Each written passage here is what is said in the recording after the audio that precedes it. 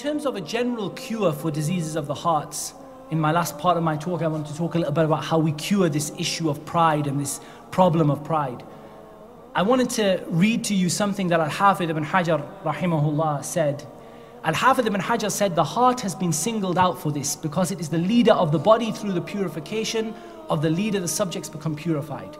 Meaning the heart of the body is like the leader of the Muslims. When the heart becomes pure, the rest of the body becomes pure. So Al-Hafidh ibn Hajar rahimahullah continues to say, so if you, O servant of Allah, wish to cure your heart, then it is upon you to be truthful with regards to seeking refuge with Allah. First thing Ibn Hajar says, be truthful with regard to seeking refuge with Allah. The first ayah that we read from the Quran, the statement of Musa, that I have sought refuge with Allah from every prideful person. And that encompasses from the, from the person themselves. And then Al-Hafidh ibn Hajar says, to put your trust in Him, to pray a great deal of supplementary prayers, nawafil prayers, to perform actions of obedience to Allah frequently, to pray the night prayer, and to treat your heart by making it continuously stick to the remembrance of Allah and befriending the righteous, and to frequently recite the Quran, and indeed Allah will indeed allow all of this to be preserved by Him. Subhanallah. Al-Hafidh ibn Hajar gives us some general principles relating to all of the diseases and the sicknesses of the heart the nawafil prayers, putting your trust in Allah, the night prayer, obedience to Allah, seeking refuge with Allah, remembrance of Allah, and befriending the righteous. And one of the most important remedies for overcoming the diseases of the heart is to study and to, and to ponder the texts and the ayat and the ahadith that talk about the warnings and the issues of the diseases of the heart.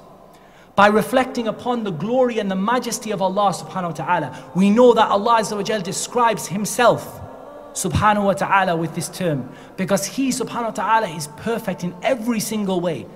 And he is the one who is deserving of pride. He is the one who is deserving of being above all of his creation and controlling them. And when we reflect upon the perfection of Allah subhanahu wa ta'ala we realize the imperfection of our own selves. And this helps us to correct the problem of pride. Also humbling yourself in the presence of those people who you think yourself to be better than them. You meet someone and you think, you know, Alhamdulillah, I'm better than this brother. And when you feel that disease start to go into your heart, what do you do? You humble yourself before them.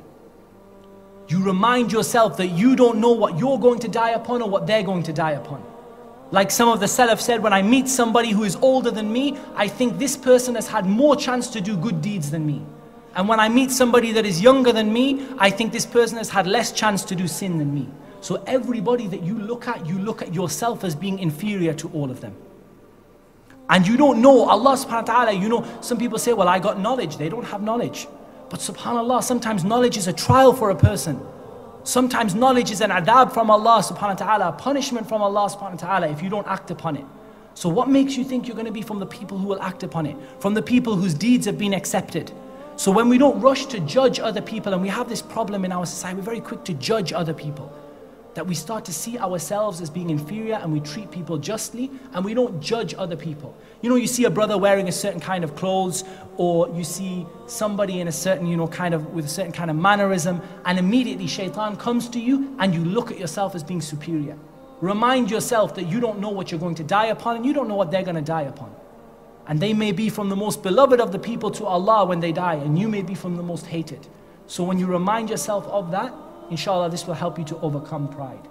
And one of the remedies of arrogance is to remind yourself that you're just like everybody else.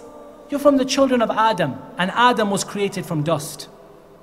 You are created from, uh, as Allah Azza describes, a disliked water. You were created from, subhanAllah, something disliked and something which people consider to be unclean. You are created from this. Your father Adam was created from dust. Subhanallah. What gives you the right to walk on the earth in pride? Remember who you were created, how Allah created you and what you were created from.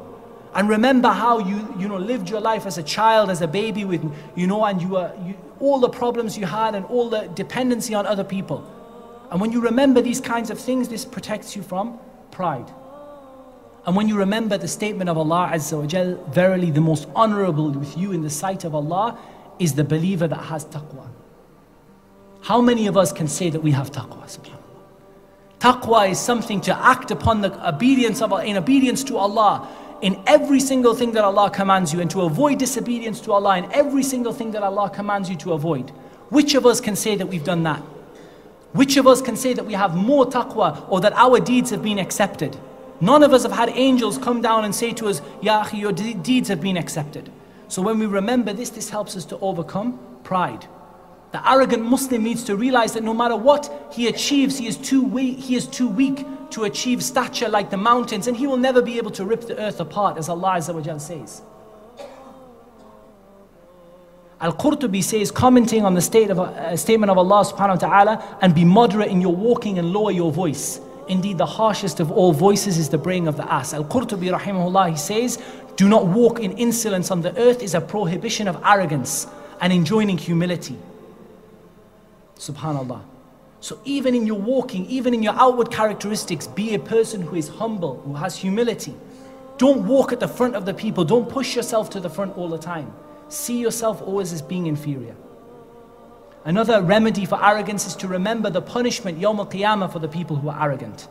And to remember, subhanAllah, all of the, the weakness of, of, of, uh, of Bani Adam. How Allah says that mankind was created da'ifa. He was created so weak and so powerless and so helpless. And subhanAllah, after that, look at the pride that Bani Adam have. Look at the pride that we have in ourselves, subhanAllah. So this is something that we need to overcome.